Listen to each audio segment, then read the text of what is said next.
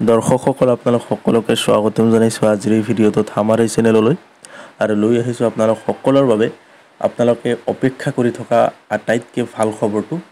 কাৰণ L P স্কুলৰ verification already শেষ হ'ল বি টি আৰত আৰু ইউ পি স্কুলৰ ভেৰিফিকেশ্যনৰ কাৰণে লিষ্ট পাব্লিছড হৈ গৈছে অলৰেডি এয়া চাওক আপোনালোকে স্ক্ৰীণত দেখা পাই আছে। আৰু অলৰেডি চাগে আপোনালোকৰ মোবাইলতো গৈছেহি। আপোনালোকে চাইছে। চ' জাষ্ট আজি আমি কেইটামান কথা ডিছকাছ কৰিম। যে এই লিষ্টখনত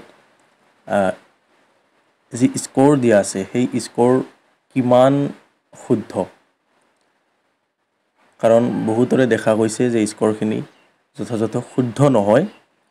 সেইটো আপোনালোকে যিটো ফৰ্মেশ্যন যিটো ফৰ্মুলা দি কেলকুলেট কৰিব সেই ফৰ্মুলা মতে আপোনালোকৰ হিচাপটো নিমিলে লিষ্টৰ লগত। আপোনালোকে নিজে কৰিলে কিবা এটা বেলেগ হয় আৰু লিষ্টত কিবা এটা বেলেগ দি আছে। আৰু ইয়াত যদি আমি চাওঁ প্ৰথমে এটা বস্তু আমি চাব পাৰিম। চাওক প্ৰথম যি এক আৰু দুই নম্বৰ চিৰিয়েল আছে তেওঁলোকৰ forty two number forty two score দিয়া আছে এভাৰেজ আৰু এজনৰ আছে ফৰ্টি পইণ্ট নাইণ্টি এইট এয়া আপোনালোকে চাব পাৰিছে স্ক্ৰীণত ডাঙৰকৈ দিছোঁ মই। Forty two point one three আৰু forty point ninety eight this is some how impossible I think কাৰণ ইয়াত চাওক তলত আপোনালোকে চাব বেছিভাগৰে twenty twenty three twenty one seventeen sixteen even লাষ্টৰ পিনেতো গোটেই জিৰ' জিৰ' মাৰি দিছে। চ' সেইখিনি চাই আপোনালোকে ফৰ্টি টু আৰু ফৰ্টি পইণ্ট নাইণ্টি এইট এই দুটা স্ক'ৰ একেবাৰে অসম্ভৱ যেন লাগিছে। এইটো মানি মানি ল'ব পৰা নাই। চ' যিয়ে নহওক এই লিষ্টখনত আপোনালোকে যদি স্ক'ৰৰ পিনে চাই স্ক'ৰ বেছিভাগ কেণ্ডিডেটৰে স্ক'ৰ ফৰ্মুলা হিচাপত নিমিলে। মই আপোনালোকক দেখুৱাম কেনেকৈ কেনেকৈ কেলকুলেট কৰিলে কি কি ওলায়। চ' প্ৰথমে তাৰ আগতে আপোনালোকক ডেটখিনি আকৌ মেনশ্যন কৰি দি আছোঁ কোন কোন ডেটত কোন কোন চিৰিয়েল নাম্বাৰৰ পৰা চিৰিয়েল নাম্বাৰলৈকে আছে। এয়া চাওক চিৰিয়েল নাম্বাৰ ওৱানত আছে দুই তাৰিখে আছে one two nine hundred then তিনি তাৰিখত আছে nine hundred one two eighteen hundred এনেকুৱাকৈ আপোনালোকৰ চিৰিয়েলবিলাক আছে আপোনালোকে এইটো স্ক্ৰীণশ্বট মাৰি ল'ব পাৰে বা আপোনালোকৰ হাতত অলৰেডি লিষ্ট আছে বুলি মই ভাবিলোঁ। চ' এতিয়া সেই আপোনালোকৰ যি এভাৰেজ পাৰ্চেণ্টেজ বা স্ক'ৰ যিটো বি টি আৰ টেটত সেই স্ক'ৰটো কেনেকুৱাকৈ কেলকুলেট কৰিব? ইয়াত চাওক মই দুটা তিনিটা ফৰ্মুলা ইয়াত আপোনালোকক দেখুৱাম। এটা হ'ল আপোনালোকৰ যিটো টেটৰ মাৰ্ক সেইটোৰ এইট্টি পাৰ্চেণ্ট তাৰপিছত গ্ৰেজুৱেশ্যনৰ five percent higher ছেকেণ্ডাৰীৰ five percent then B Ed D El এডৰ ফাইভ পাৰ্চেণ্ট আৰু এই গোটেইকেইটা যিহেতু চাৰিটা আছে ইয়াত টেট এটা আছে গ্ৰেজুৱেশ্যন আছে হায়াৰ ছেকেণ্ডাৰী আছে আৰু বি এড আছে। সেইকাৰণে ইয়াক চাৰিৰে ডিভাইড কৰিলে আমি যিটো পাম সেইটো হ'ব আমাৰ স্ক'ৰ কিন্তু এইটো যদি আপোনালোকে হিচাপ কৰে আপোনাৰ স্ক'ৰ যিটো ওলাব আৰু আপোনালোকৰ যি লিষ্টত দিয়া আছে সেইটোৰ লগত কিন্তু নিমিলে। আৰু নেক্সট এটা আছে আপোনালোকৰ টেটৰ এইট্টি পাৰ্চেণ্ট আৰু অকল গ্ৰেজুৱেশ্যন বা হায়াৰ ছেকেণ্ডাৰী যিকোনো এটাৰ ফাইভ পাৰ্চেণ্ট আৰু বি এড ডি এল এডৰ ফাইভ পাৰ্চেণ্ট ইয়াক লৈ আপোনালোকে যদি তিনিৰে ডিভাইড কৰে কাৰণ ইয়াত তিনিটা বস্তু আমি যোগ কৰিছোঁ।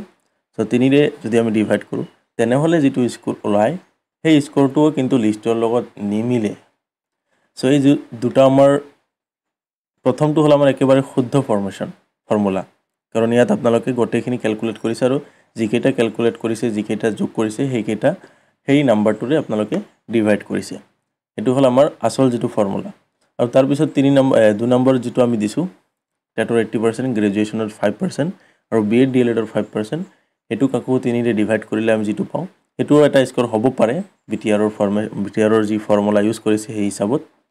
কিন্তু সেইটো আমাৰ লিষ্টৰ লগত একেবাৰে মিল নাই বুলি ক'ব পাৰোঁ আমাৰ নিমিলে স্ক'ৰটো যিটো আমাৰ পাৰ্চনেল হিচাপে হিচাপ কৰিলে যিটো ওলায় আৰু লিষ্টৰ লগত আপোনাৰ নামৰ এগেইনষ্টত যি স্ক'ৰ বহুৱা আছে সেই স্ক'ৰৰ লগত নিমিলে। মিলে কোনটো? এয়া চাওক এতিয়া হৈছে আচল ফৰ্মুলা যিটো মিলে কিন্তু এইটো কমপ্লিটলি ভুল।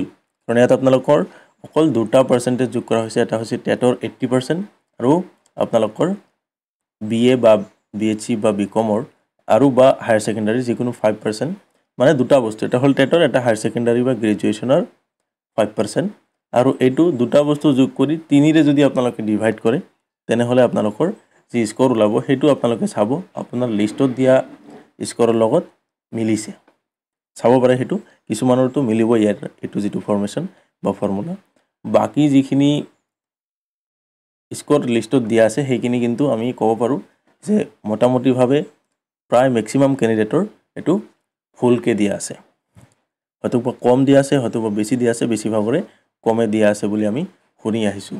চ' আপোনালোকৰ কেনেকুৱা স্ক'ৰ দিয়া আছে সেইটো ভিডিঅ' কমেণ্ট বক্সত জনাব পাৰে মিলিছেনে নাই সেইটো হিচাপত আপোনালোকে কি কেলকুলেশ্যন কৰিছে আৰু মিলিছেনে নাই সেইটো আমাক ভিডিঅ' কমেণ্ট বক্সত জনাব পাৰে। আৰু এতিয়া আহিছোঁ আপোনালোকৰ মেইন যিটো টপিক যে আপোনালোকে এতিয়া ডকুমেণ্টছ ভেৰিফিকেশ্যনত যাবই লাগিব আৰু যাব। আৰু যাই কি কি ডকুমেণ্টছ লগত লৈ যাব লাগিব। ইয়াত চাওক মই ডকুমেণ্টছৰ গোটেই লিষ্টখন আপোনালোকক দেখুৱাই আছোঁ। কি কি ডকুমেণ্টছ আপোনালোকে লগত লৈ যাব লাগক বা নালাগক যিখিনি লাগে সেইখিনিতো আপোনালোকে তাত দেখুৱাব। আৰু যিখিনি নালাগে সেইখিনিও লৈ যাব কাৰণ মই গোটেইখিনি ডকুমেণ্টছৰ ইয়াত লিষ্ট দি দিছোঁ। ইম্পৰ্টেণ্টখিনি মই কৈ যাম। ইয়াত চাওক প্ৰথমে আহিল এছ এছ এল চি মানে মেট্ৰিকুলেশ্যন আৰু মেট্ৰিকুলেশ্যনৰ আপোনালোকৰ admit marksheet certificate and registration চাৰিওটা বস্তু লৈ যাব। ইয়াৰে এডমিট মাৰ্কশ্বিট আৰু চাৰ্টিফিকেট কিন্তু অত্যন্ত গুৰুত্বপূৰ্ণ। সেইখিনি আপোনালোকক লাগিবই। আৰু তাৰপিছত আহিল হায়াৰ ছেকেণ্ডাৰী হায়াৰ ছেকেণ্ডাৰীত আপোনালোকৰ এডমিট মাৰ্কশ্বিট চাৰ্টিফিকেট লাগিবই। ৰেজিষ্ট্ৰেশ্যনটো লগত লৈ যাব যদি আছেই। তাৰপিছত গ্ৰেজুৱেশ্যনৰো এডমিট মাৰ্কশ্বিট এডমিটটো নালাগিব পাৰে কিন্তু মাৰ্কশ্বিট আৰু চাৰ্টিফিকেট কিন্তু লাগিব। চাৰ্টিফিকেটৰ ঠাইত আপোনালোকে কলেজৰ পৰা দিয়া চাৰ্টিফিকেটখনে দিব পাৰে যিসকলৰ চাৰ্টিফিকেট। ইউনিভাৰ্চিটিৰ পৰা দিয়া নাই। বাকী মাৰ্কশ্বিট বহুতেই ইম্পৰ্টেণ্ট মাৰ্কশ্বিট আপোনালোকে কেতিয়াও এৰি নাযাব। কোনো এটা কোৱালিফিকেশ্যনেৰে মাৰ্কশ্বিট এৰি নাযাব। তাৰপিছত বি এড ডি এল এডৰ আপোনালোকৰ মাৰ্কশ্বিট আৰু চাৰ্টিফিকেট লাগিব। চাৰ্টিফিকেট যদি ইউনিভাৰ্চিটিয়ে দিয়া নাই কলেজখনৰ কলেজৰ দিয়া চাৰ্টিফিকেটখনো একচেপ্টেবল হ'ব। আৰু আপোনালোকৰ বি এড ডি এল এডৰ এডমিটটোও কিন্তু ইম্পৰ্টেণ্ট হয় চাব পাৰে। চ' হিচাপত এই চাৰিটা যি আমাৰ মেইন কোৱালিফিকেশ্যন সেই কোৱালিফিকেশ্যনৰ এইখিনি ডকুমেণ্টছ আপোনালোকে লগত লৈ যাব এডমিট মাৰ্কশ্বিট চাৰ্টিফিকেট আৰু পাৰিলে ৰেজিষ্ট্ৰেশ্যন তাৰপিছত আপোনালোকৰ যিটো মেইন সেইটো হ'ল TET marksheet and certificate marksheet কাম চাৰ্টিফিকেট সেইটো এটাই থাকে। চ' সেইটো লৈ গ'লে হ'ল যদি চি টেট তেনেহ'লে দুটা আছে কিন্তু এটা চাৰ্টিফিকেট এটা মাৰ্কশ্বিট তাৰপিছত আপোনালোকৰ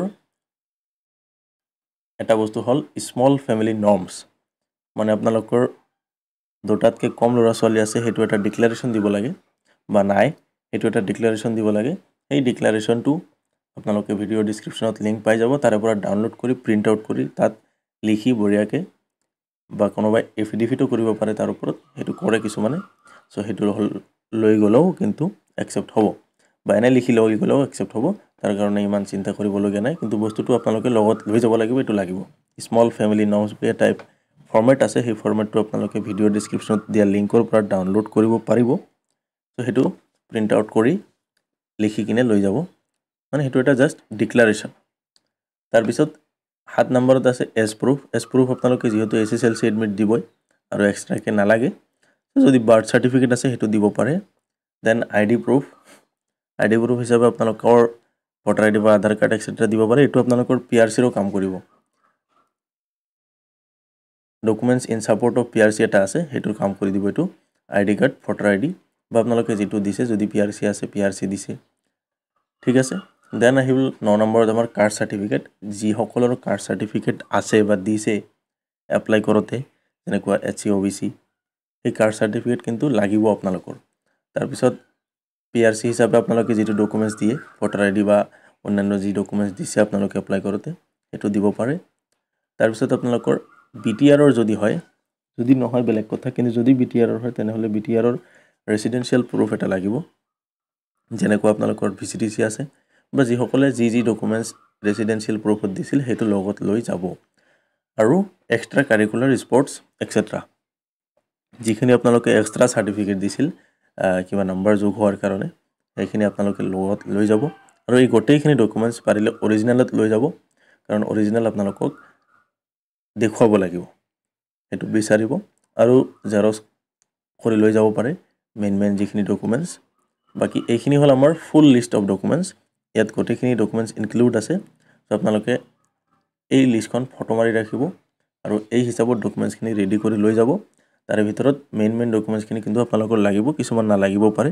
কিন্তু মই ইয়াত এটা ডকুমেণ্টছো বাদ দিয়া নাই। যদি বাদ পৰিছে আপোনালোকে কমেণ্ট বক্সত জনাব পাৰে।